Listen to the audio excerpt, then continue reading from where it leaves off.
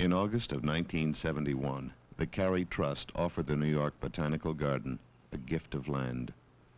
On this land, in Millbrook, New York, the Cary Arboretum was established.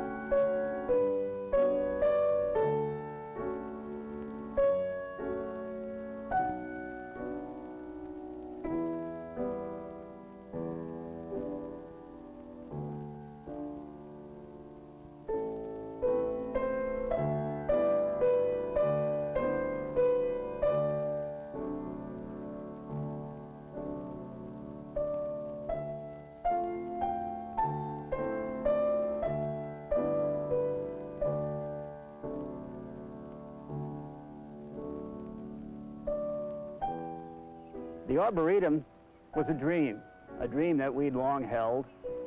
We needed a place to test trees and shrubs and woody plants, to carry out the kinds of studies that required time and space and protection from the intrusion of urban pressures.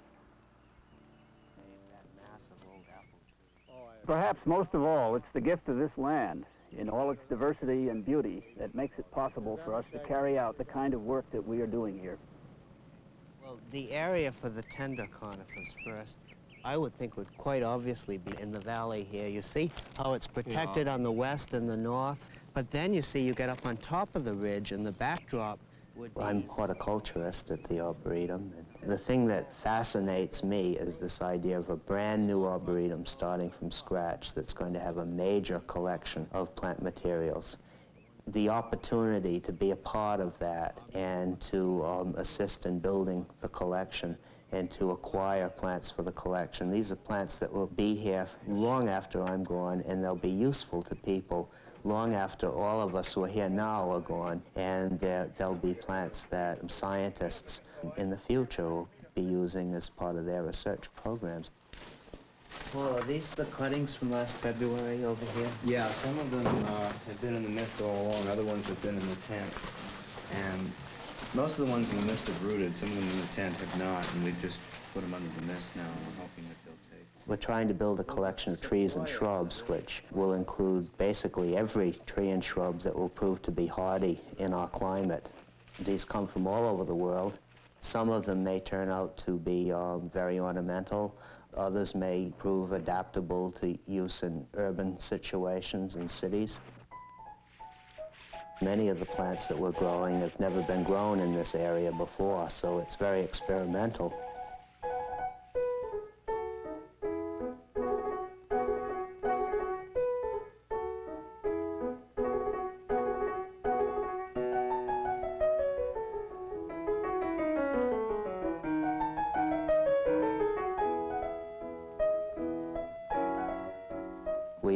To set aside approximately 100 acres of the Arboretum land where we'll concentrate some of the plant materials that will be of the most interest to the general public and also to be able to have demonstrations of um, plant materials that will be used in our educational program.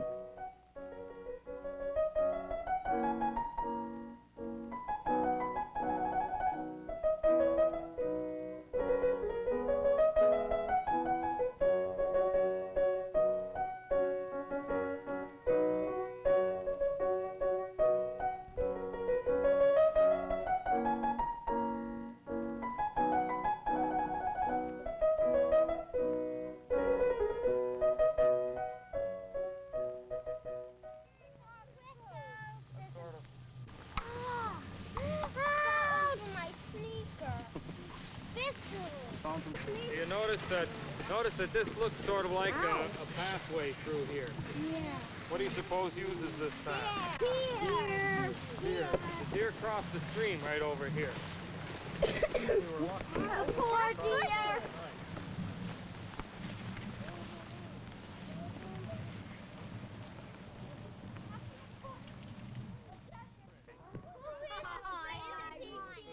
here. How many of you like snakes? Me.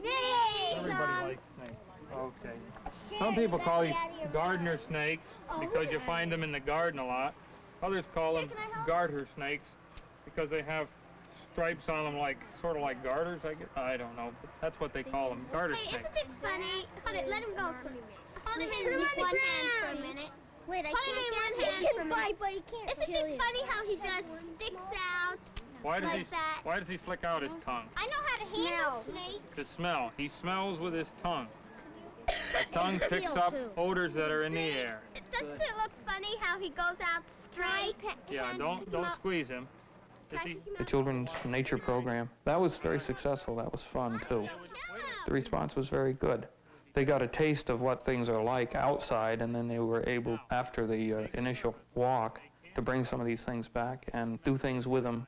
And I think created in them a whole new feeling for what is out there. I know go how right they... on through. It's like a little nip. He's getting nervous. He's I going know a that little people faster. think they're Can I hold 'em? slimy and. Are they I know, but slimy? They're really No! Careful, don't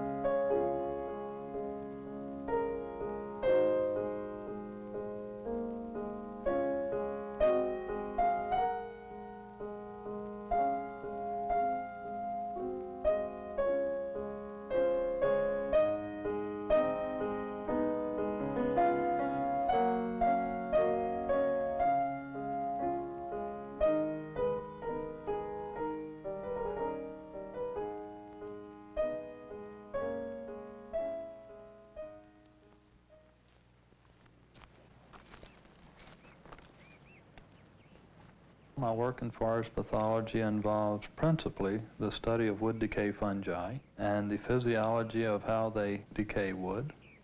And I use the Arboretum to collect wood decay fungi for use in the laboratory and then use these fungi in a process that may be very practical and serve in this way to bring about changes that may diminish pollution, for instance. There needs to be more field work done in science, I think. Most of the work has been done in the laboratory with controlled experiments, and this is all well and good. But at the same time, one must have an appreciation for what nature is and try to understand what nature is so that we can better able to live with it.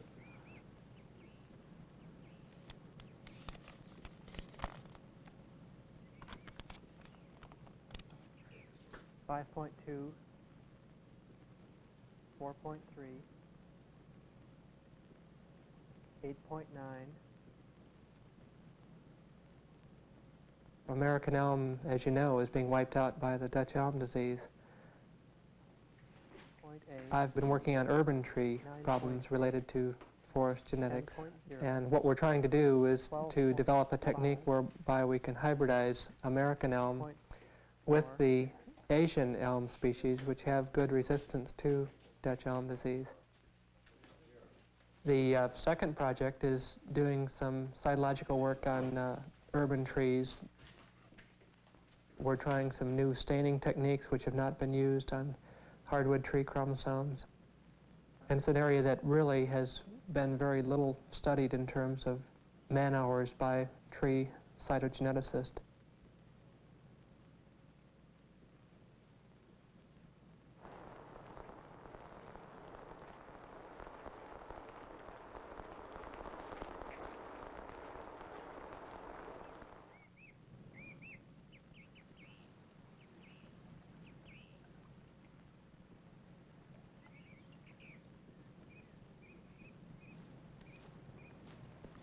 My primary interest is working with living plants in their natural environment or natural habitat. Research involving insect-plant relationships with ants and plants or butterflies and bees. The example of ants and peonies demonstrates how a species of plant and ants co-evolved for the mutual benefit of each other. The plant supplies food to the ant, and the ant in turn provides protection to the plant through defending that food source.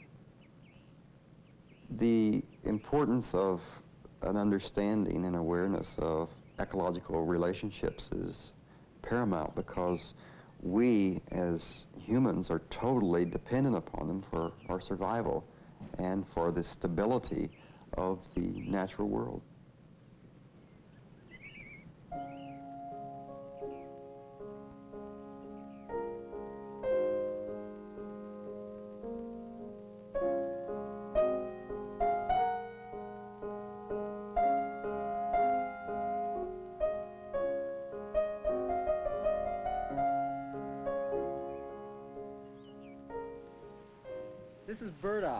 This stage right now, it's edible. In fact, I've been told by a girl who works at the Arboretum who's Italian that her mother makes a dish she calls cardoon or gardoon from the flower stalks of burdock. You can see it's pretty, the flower stalk is pretty big at this stage. Uh, the edible part is the pith inside. Well, we teach on several different levels, adults as well as children from all over the community. Also, we're working with teacher training workshops and programs and working with several colleges and universities. The pith, the pith itself is very soft and uh, lacks any sort of fibers in it. We're going to try this today. The way we're going to do it today is boil it in a little bit of salted water and add some butter to it.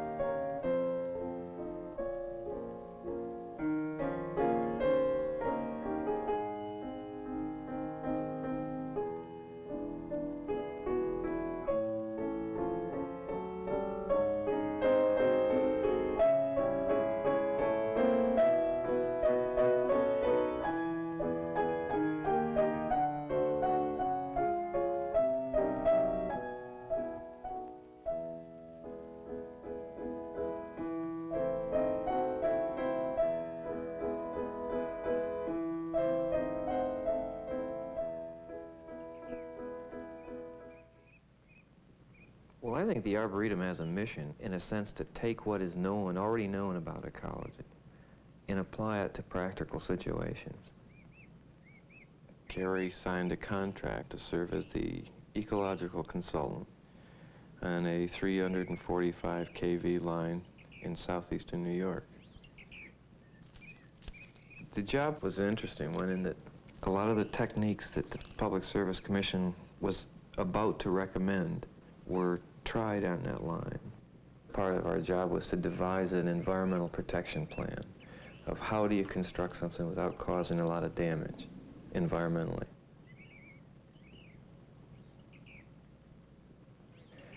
Then the second part would be to implement those guidelines by being the on-site advisor. Like this one over there will have to be removed, right? Well, this big The one we will. one. The little one that you've topped, that's that's just right. We've got a lot of crown left on it, and the tree will probably survive. You try to retain as much vegetation as you possibly can. Minimize any erosion. Try to blend in the right-of-way with the rest of the vegetation. In other words, try to maintain everything as natural as possible. Don't put anything artificial there except the towers, which have to be there.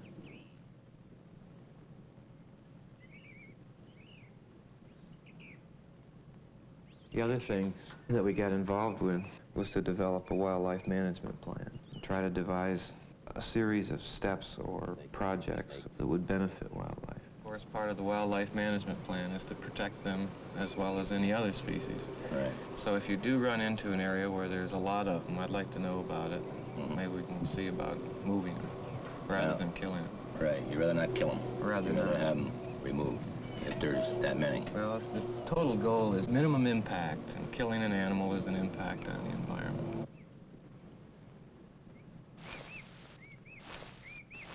The last part was to devise a restoration plan. The surprise of the whole thing was that we later implemented that plan, which we weren't contracted to do initially.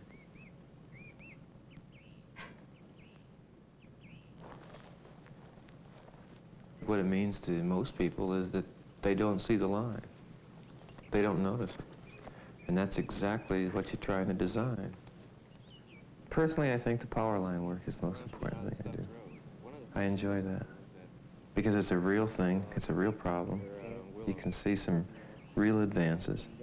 People begin to, to write to and call to Cary Arboretum and ask for power line advice. And that means someone out there is listening. And that's good.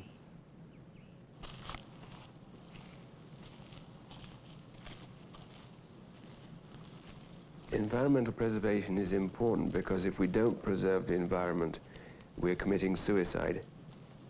It's our function at the Arboretum to spread this word by whatever means we can. The uh, Rio Samala and the Rio Nahualate will be diverted into a tunnel. Which is the uh, project in Guatemala was the assessment of the national 25-year energy plan. Lake Atitlan had two projects at the beginning, and the one that we are considering is the one called Chusibel. I see. And where will the outfall be? Well, it will come out to this end of the lake. The aim of an environmental assessment is to make the development project compatible with environmental preservation.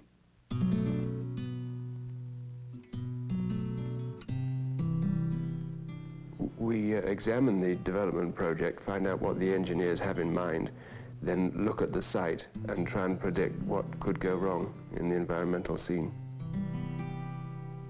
The Chinautla River, which is the main sewer of Guatemala City, was draining straight into one of the hydro projects without any treatment at all. This could easily be avoided now that it's been identified.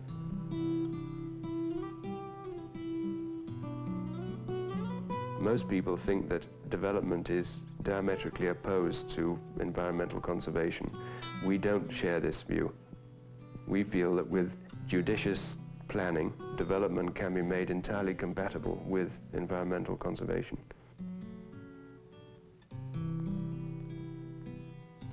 With water development schemes, often organisms hazardous to man proliferate. Disease vectors like snails can have a population explosion and spread waterborne diseases like malaria or schistosomiasis. So if we find that a, a reservoir is going to be created in a certain place, we want to know if the snail is there already so we can avoid the disease.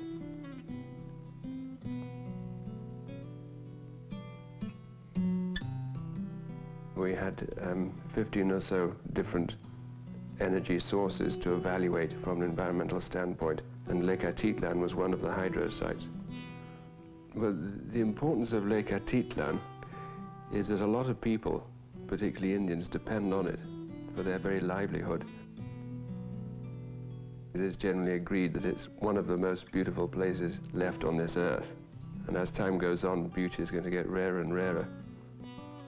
Certainly biologically unique. And once these organisms are made extinct, that's the end of millennia of evolutionary history.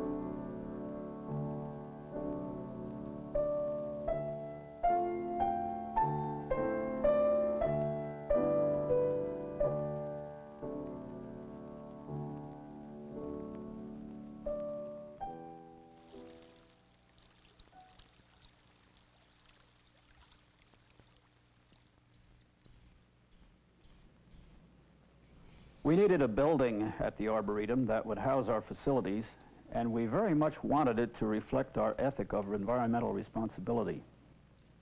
It was important to us that everyone who worked on the building share that vision. The Arboretum wanted an architect who would give them a building that would not be plunked down on the land, destroying it, but rather would be part of the land, so that it would say what the Arboretum is all about. Is not set on the site, it's set deeply down into the ground with just the roof sticking out, so that it will be in many ways an earth building. This building is really a very crude attempt to do what any wildflower or weed or blade of grass does all the time, and that is use solar energy directly. It's the sign of the Arboretum, it's our label, it's our badge. It's the contact that we're going to have with the greatest number of people, and therefore it's got to represent us just as perfectly and, and, and appropriately as possible.